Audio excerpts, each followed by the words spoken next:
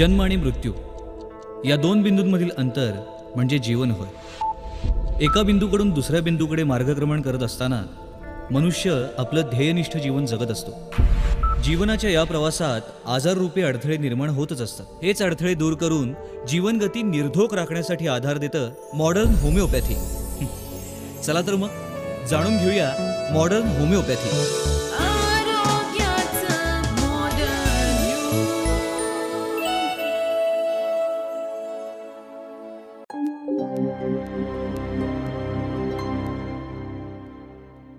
नमस्कार मी दीप्ती लेले. आरोग्याचं मॉडर्न युग या मॉडर्न होमिओपॅथीच्या कार्यक्रमामध्ये पुन्हा एकदा आपलं सगळ्यांचं स्वागत. मागच्या भागामध्ये आपण किडनी फेल्युअर या अत्यंत दुर्धर अशा आजाराबद्दल बोललो. आपल्याला मार्गदर्शन करण्यासाठी डॉक्टर उपस्थित होत्याच त्याचबरोबर रुग्णही होते. आज आपण पुन्हा एकदा त्या सगळ्यांशी चर्चा करणार आहोत आणि पुन्हा एकदा आपल्याला मार्गदर्शन करण्यासाठी स्टुडिओमध्ये उपस्थित आहेत modern होमिओपॅथीच्या senior consultant doctor Jyotsna Lad. नमस्कार डॉक्टर आपल्या स्टुडिओमध्ये स्वागत आहे. डॉक्टरांबरोबरच आपल्या इथे स्टुडिओ स्टुडिओत उपस्थित आहेत. श्री भाऊसाहेब नेवरेकर आणि निसार सनदी जे मॉडर्न होमिओपॅथीद्वारे उपचार घेत आहेत. दोघांचंही आपण स्वागत करूया. नमस्कार. किडनी फेल्युअर या अत्यंत दुर्धर आजाराबद्दल डॉक्टरांनी आपल्याला गेल्या भागातही माहिती सांगितली मार्गदर्शन केलं. पण आपण डॉक्टरांना पुन्हा एकदा एक विचारणार आहोत की डॉक्टर मॉडर्न होमिओपॅथी ह्या संकल्पनेविषयी आणि क्युरेटिव्ह लाईन सिस्टीम ज्याला म्हटलं जातं त्याविषयी आमच्या प्रेक्षकांना पुन्हा एकदा थोडीशी सविस्तर माहिती द्याल का? हो नक्कीच. क्युरेटिव्ह लाईन ऑफ ट्रीटमेंट म्हणजे काय? मागच्या भागात मी ज्या पद्धतीनं आपल्याला सांगितलं की ई एस आर डीमध्ये असणारे रुग्ण किंवा डायलिसिस सुरू असणारे रुग्ण हे जेव्हा आपल्याकडे येतात आणि आपली ट्रीटमेंट सुरू करतात त्यावेळेस त्यांचे डायलिसिस हे आपण पूर्णपणे थांबवलं आहे दुसरी गोष्ट दुसऱ्या किंवा तिसऱ्या टप्प्यामध्ये युरिया क्रिएट याचे रिपोर्ट पण कमी यायला लागले. बरोबर. म्हणजेच काय की आपण त्या पेशंटला नॉर्मल्सीकडे किंवा बरे होण्याच्या दिशेने घेऊन निघालोय. म्हणूनच आपण याला क्युरेटिव्ह लाईन ऑफ ट्रीटमेंट असे म्हणू शकतो. पेशंटचं पूर्ववत जे आयुष्य आहे सामाजिक कौटुंबिक आर्थिक ते आपण त्याला चांगल्या प्रकारे देऊ शकतो. आणि ही नॉन सर्जिकल अशी ओपीडी बेसिस अशी ट्रीटमेंट आहे. कमी खर्चिक डायलिसिस करण्यापेक्षा किंवा ट्रान्सप्लांट करण्यापेक्षा खर्च हा नक्कीच कमी येतो बरं. या थेरपीला दुष्परिणाम असे काही नाहीत बरं. पेशंटला घरी राहून उपचार घेता येतात प्रत्येक महिन्याला आपण ट्रॅकिंग करत असतो. युरिया किती आहे क्रिएटिनिन किती आहे. हिमोग्लोबिनमध्ये कशा पद्धतीनं वाढ झाली आहे?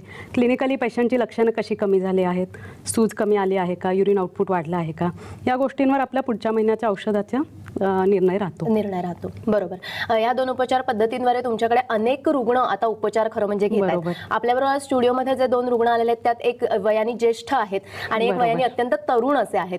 एखादा आजार ज्येष्ठ वयात होणं हे थोडंसं आपण वेगळ्या दृष्टीने पाहतो आणि एका तरुण मुलाला एकदम किडनी फेल्युअर सारखा मोठा आजार होणं ह्याकडे आपण वेगळ्या दृष्टीने पाहतो. तर. तुमचा अनुभव याविषयी आम्हाला काय सांगाल? निसार यांच्या केसबद्दल खास करून तुम्ही आम्हाला नक्की काय सांगाल? निसार यांची केस अतिशय आव्हानात्मक केस होती. निसार जेव्हा आपल्याकडे आले सप्टेंबर दोन हजार चौदा मध्ये त्यांनी आपल्याला कन्सल्ट केलं. त्यावेळेस ते किडनीच्या सगळ्यात गंभीर टप्प्यात किडनीच्या आजाराच्या सर्वात गंभीर टप्पा म्हणजे सिकेडी स्टेज फाईव्ह असं म्हणतो आपण त्याला. क्रॉनिक किडनी डिसीजचा पाचवा टप्पा. या टप्प्यामध्ये डायलिसिस किंवा ट्रान्सप्लांट यासारख्या पर्यायांना उपचार नसतात. आपल्याकडे आले तेव्हा त्यांचे रिपोर्ट्स हे अतिशय क्रिटिकल होते. क्लिनिकली पेशंट वीक होता. वेट लॉस झालं होतं. दहा ते बारा किलो वजन त्यांचं कमी झालं होतं. भूक मंदावली होती. जेवण जात नव्हतं. मोठ्या उलट्यांचा त्रास होता. अंगावर सूज राहत होती. बरं बरं. पेशंटचे जनरल कंडिशन ही क्रिटिकल होती. स्टेबल नव्हती. बरोबर. पण तुम्ही त्यांना आल्याबरोबर पहिल्या काही चाचण्या करून घ्यायला सांगितल्यात का हो. आपण त्यांचे किडनी फंक्शन टेस्ट ह्या केल्या होत्या. सोनोग्राफीचा रिपोर्टही त्यांचा ई एस आर डी मध्ये त्यांची किडनी होती. म्हणजे काय? एंड स्टेज रिनल डिसीज आपण म्हणतो. यामध्ये नव्वद टक्केपेक्षा जास्त दोन्ही किडनीचं नुकसान झालं होतं. त्यामुळे त्यांची किडनी होती ती पेडॅटिक साईज होती. म्हणजे लहान मुलांची जेवढी सात आठ वर्षाच्या मुलाची जेवढी किडनी असते. तेवढी किडनी त्यांची झाली होती. कारण ई एस आर डी मध्ये काय होतं? दीर्घकाळ नुकसान होत जातं किडनीचं. आणि हे दीर्घकाळ जेव्हा नुकसान होत जातं तेव्हा किडनीत श्रंक होतात. म्हणजे काय होतं? आकाराने लहान होतात. आणि आकाराने लहान झाल्यानंतर त्यांचं कार्य पुन्हा थांबवलं जातं. म्हणजे ही अत्यंत गंभीर स्वरूपाची अशी केस होती असं अगदी आपल्याला अगदी. म्हणता येईल. अगदी नक्कीच. पण मग त्यानंतर तुमची स्वतःची निरीक्षणं किंवा त्यातनं तुम्ही काय निष्कर्ष काढलेत? आपण त्यांची पूर्ण डिटेल केस स्टडी केली. त्यानंतर विजय डॉक्टर विजयकुमार माने सरांच्या मार्गदर्शनाखाली आपण या ट्रीटमेंटमध्ये काम करायला सुरुवात केली. आपण त्यांचे आधी रिपोर्ट्स घेतले होते. सोनोग्राफीचे रिपोर्ट्स घेतले होते. किडनी फंक्शन टेस्ट या तपासण्या करून घेतल्या होत्या. क्लिनिकल कंडिशन कशी आहे ते बघितलं होतं. ह्या सगळ्या गोष्टींचा विचार करून आपण त्यांना मॉडर्न होमिओपॅथीच्या गाईडलाईन्सना अनुसरून ट्रीटमेंट सुरू केली. हे ट्रीटमेंट सुरू सुरू केल्यानंतर पहिल्या महिन्यातच खूप चांगला रिझल्ट मिळून गेला. पहिल्या महिन्याचे रिपोर्ट्स क्रिएट जे तेरा होतं थर्टीन पॉईंट टू ते इलेव्हन झालं. युरिया स्टेबल राहिला. हिमोग्लोबिनमध्ये वाढ झाली. नक्कीच. म्हणजे एकूणच त्यांच्या प्रकृतीत तुम्हाला बदल जाणवायला लागला. खूप चांगल्या पद्धतीने बदल जाणवला. क्लिनिकल हां. ऍक्च्युली कसं झालं क्लिनिकल इम्प्रुव्हमेंट पण या पेशंटमध्ये आपल्याला दिसून आली. प्लस आपण रिपोर्ट वाईज पण त्यांना ट्रॅक केलं. अर्थातच मी तेच विचारणार होते की जेव्हा तुम्ही आधीचे रिपोर्ट बघितले होते तेव्हा ते अत्यंत गंभीर स्वरूपाचे असे तुम्हाला दिसून आले. काही धक्कादायक गोष्टी त्यातनं पुढे आल्या. पण जेव्हा तुम्ही उपचार द्यायला सुरुवात केली तेव्हा उपचारानंतर तुम्हाला काय रिपोर्टमध्ये फरक जाणवला? म्हणजे आम्हाला प्रेक्षकांना काय सांगता येईल नक्की? की काय फरक आपल्याला दिसून आला. उपचारानंतर क्लिनिकल इम्प्रुव्हमेंट पेशंटमध्ये चांगल्या पद्धतीनं दिसून आली. अंगावर जी सूज होती. ती पूर्णपणे कमी झाली होती. भूक जी मंदावली होती ते त्यांचं पचन चांगल्या पद्धतीनं होत होतं. भूक लागत होती पेशंटला वेट लॉस झाला होता. पेशंटचं बॉडी मेटाबॉलिझम ते अगदी वृक्ष झालं होतं. ते चांगल्या पद्धतीनं रिकवर झालं होतं. जनरलाइज विकनेस प्रोफाऊंड होता. तर तो रिकवर झाला होता. आणि पेशंट ओव्हरऑल वेलबिंग पोझिशनमध्ये होता. तो जेव्हा आला तेव्हा क्रिटिकल होता. रिपोर्ट्स पण क्रिटिकल होते. रिपोर्ट्समध्ये पण इम्प्रुव्हमेंट दिसून आली. रिपोर्टमध्ये काय बदल झाले. किडनी फंक्शन टेस्ट या कशा आहेत की पॅरामीटर्स ते आपल्याला बघावे लागतात. युरिया किती आहे? क्रिएटिनिन किती आहे? क्रिएटिनिन बघितल्यानंतर आपल्याला काय कळतं की या पेशंटची किडनी कितपत काम करायला लागली. क्रिएटिनिन ज्या अर्थी कमी आलं युरिया ज्या अर्थी कमी आला त्या अर्थी हे किडनीचे इम्प्रुव्हमेंट फिल्ट्रेशन इम्प्रूव्ह झाले याचंच इंडिकेशन ते होतं. बरं. आणि किडनी जसं फिल्टर म्हणजे किडनी काम करायला लागली.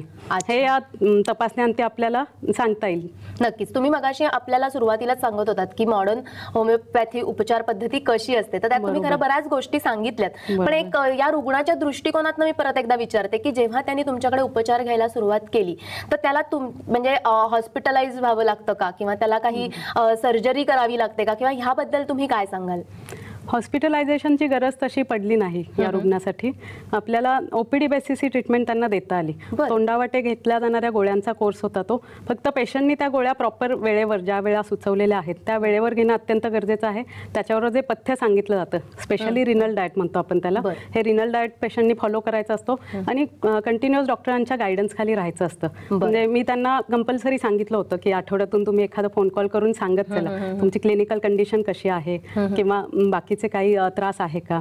या पद्धतीनं आपण ती केस पूर्ण प्रत्येक अल्टरनेट डेला ट्रॅक करत आपण हे रिझल्ट घेतले आहेत एक महिन्याच्या. अंती. डॉक्टर ज्योत्स्ना लाड आपल्याला किडनी फेल्युअर या दुर्धर आजाराविषयी खूप छान मार्गदर्शन करतायत. रुग्णही आपल्याबरोबर इथे आहेत तेही त्यांचे अनुभव आपल्याला सांगणार आहेतच. पण आत्ता वेळ झाली आहे ब्रेकची आरोग्याचं मॉडर्न युग. या कार्यक्रमात घेऊया एक छोटासा ब्रेक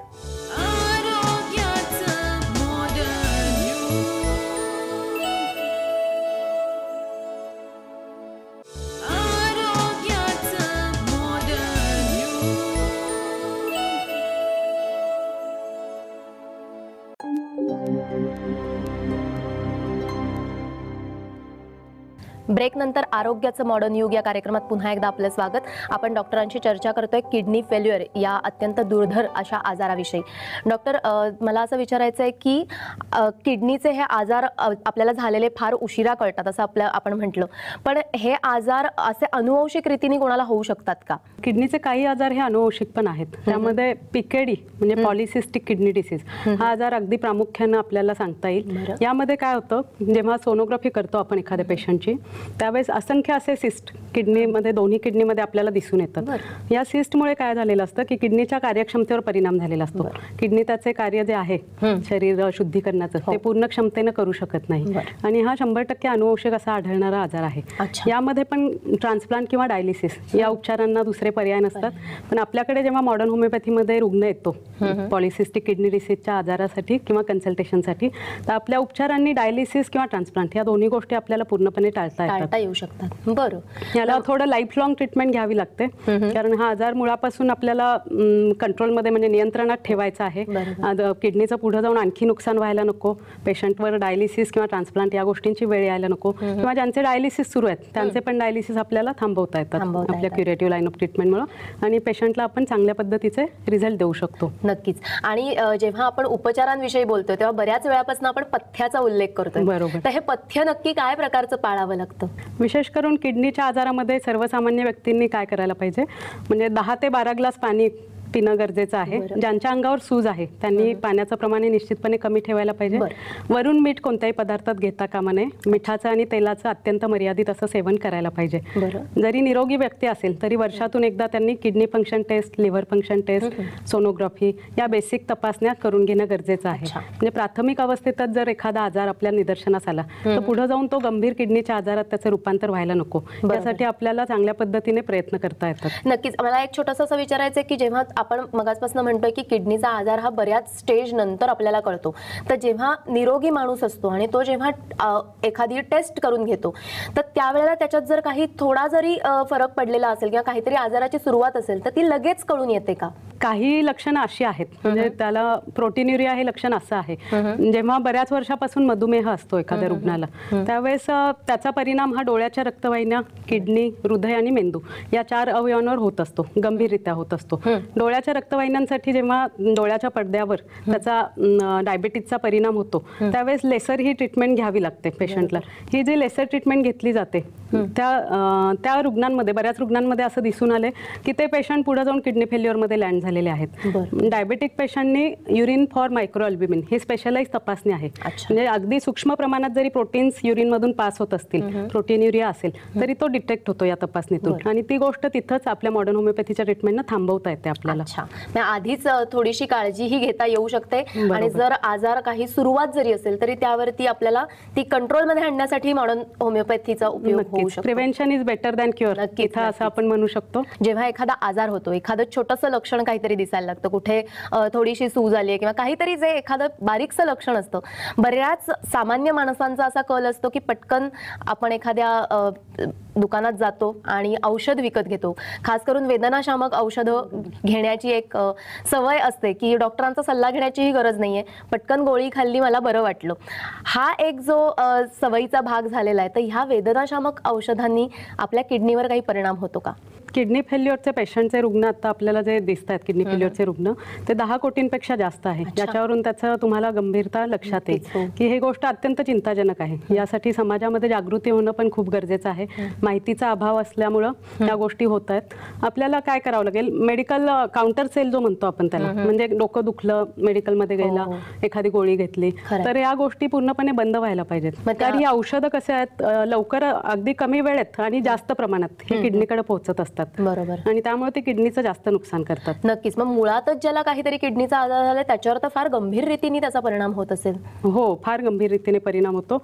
ए आर एफ असं म्हणतो आपण त्या कंडिशनला बरं. म्हणजे अॅक्यूट रिनल फेल्युअर बरं. क्रॉनिक किडनी डिसीजमध्ये जेव्हा अशा पद्धतीने तुम्ही औषधं चुकीच्या पद्धतीनं घेता किंवा औषध डॉक्टरांच्या सल्ल्याशिवाय घेता त्यावेळेस किडनीवर आणखी स्ट्रेस वाढतो लोड वाढतो आणि अॅक्यूट किडनी फेल्युअर अशी अवस्था रुग्णाला मिळू शकते किंवा रुग्णाचं रुग्ण त्यामध्ये लँड होतो.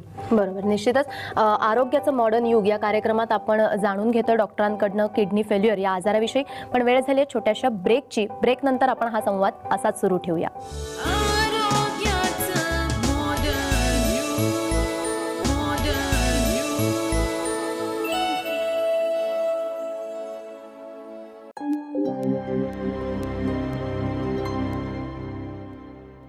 ब्रेकनंतर आरोग्याचं मॉडर्न युग. या कार्यक्रमात पुन्हा एकदा आपलं स्वागत. आपण जाणून घेतोय किडनी फेल्युअर या आजाराविषयी आणि त्याच्यावरती होणाऱ्या उपचार पद्धतीविषयी.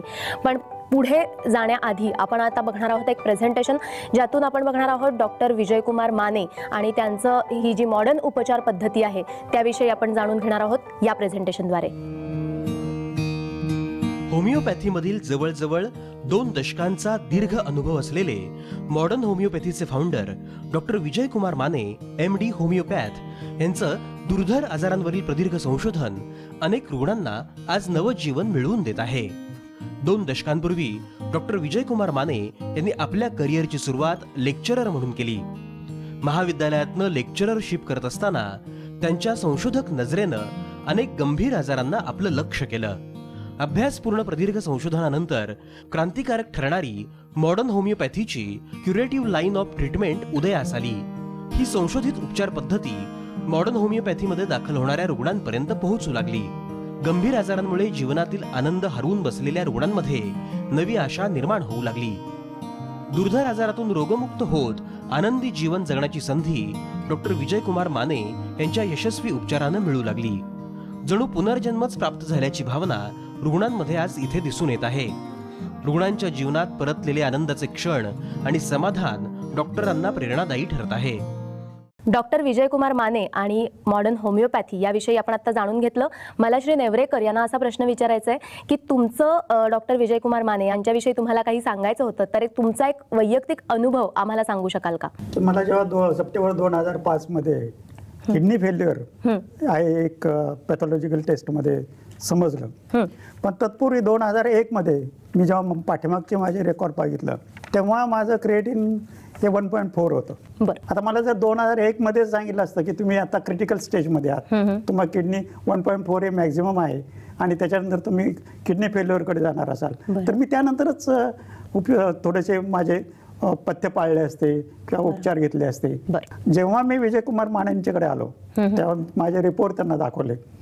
त्यांचा स्वभाव जो आहे तो साधारण इंटरॅक्टिव्ह आहे पेशंटशी बोलण्याचा. प्रत्येक गोष्टीचा काय कशाशी काय संबंध आहे? ह्याच्याशी त्यांच्याकडनं ते आपल्याला सांगतात. मानांच्या त्या उपचार पद्धतीमुळे मी खरोखरच समाधानी आहे.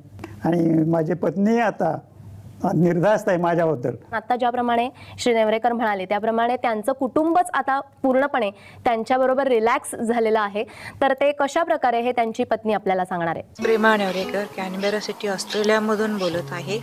माझे मिस्टर गेली आठ वर्षे किडनी आजाराने ग्रस्त आहेत. जेव्हापासून डॉक्टर विजयकुमार माने यांची ट्रीटमेंट सुरू केली. तेव्हापासून त्यांच्या तब्येतीत बराच फरक झाला आहे. त्यांनी दोन महिने ऑस्ट्रेलिया टूर केली. मी आता तीन महिन्याकरता माझ्या मुलीकडे ऑस्ट्रेलियामध्ये निर्धास्तपणे राहू शकते. हे केवळ शक्य झाले विजयकुमार माने यांच्या ट्रीटमेंटमुळे डॉक्टर विजयकुमार माने यांचे धन्यवाद. डॉक्टर मला तुम्हाला असं विचारायचं आहे की एक ज्येष्ठ आणि एक तरुण दोन पेशंट आपल्याकडे आहेत. तर तरुण वयात किडनी फेल्युअरचं कारण काय असू शकतं? बऱ्याच वेळा याचं कारण हे ॲटो इम्युन डिसीज असतं. ॲटो इम्युन डिसीज म्हणजे काय? तर शरीर आपलं जे असतं ते शरीराच्या विरोधात प्रतिकारशक्ती तयार करतं. मग त्याचा गंभीर असा परिणाम मोठ्या अवयवांवर म्हणजे महत्त्वाच्या अवयवांवर दिसून येतो. त्यामध्ये किडनी हे पहिलं टार्गेट ऑर्गन असतं. तर या गोष्टी आहेत की या तरुण वयामध्ये किडनी फेल्युअरला प्रमुख कारणं आहेत ही. बरं पण किडनी फेल्युअरचं प्रमाणच एकूण जे वाढलं तुम्ही आकडेवारी सांगितलीत. तीही खरं तर धक्कादायक होती. दहा कोटी जास्त आपल्याला. दिसत आहेत तर हे एवढ्या मोठ्या प्रमाणात हा आजार होण्याचं कारण काय असू शकेल? सध्याचं आपण लाईफस्टाईल जर विचारात घेतली तर व्यायामाची कमतरता आहे. निश्चितच. दुसरी गोष्ट माहितीचा अभाव ही एक मला गोष्ट प्रमुख वाटते. आणि आपल्याला प्राथमिक कुठलीही लक्षणं आपल्याला दिसून आली. समजा आपल्या अंगावर सूज येते आपल्याला भूक लागत नाहीये आपलं वजन कमी व्हायला लागलंय. तर या गोष्टी आहेत त्या तातडीनं तुम्ही डॉक्टरांना म्हणजे योग्य डॉक्टरांकडे जाऊन त्याचा योग्य वेळी निदान करणं गरजेचं आहे. रुग्ण का वाढतात ह्याची कारणं डॉक्टरांनी आता डॉक्टर तुम्ही तुमच्या दृष्टिकोनातनं तर सांगितलीत. आपल्याकडे जे रुग्ण आहेत पेशंट आहेत नेवरेकर त्यांनाही त्यांच्या दृष्टिकोनातनं काही कारणं दिसतात तर ती तुम्ही काय सांगू शकाल की आजकाल हे रुग्ण का वाढत आहेत दिल्लीमध्ये Centre for Science and Environment अशी एक मोठी संस्था आहे. बरं. त्यांनी एक रिसर्च केलेला आहे. की नेहमीपेक्षा खेडेगावामध्ये आता हे रुग्ण वाढत आहेत बरं. त्याचं कारण आहे की जे पाणी पिलं जातं जे ग्राउंड वॉटर आहे ते इतकं पोल्युटेड आहे.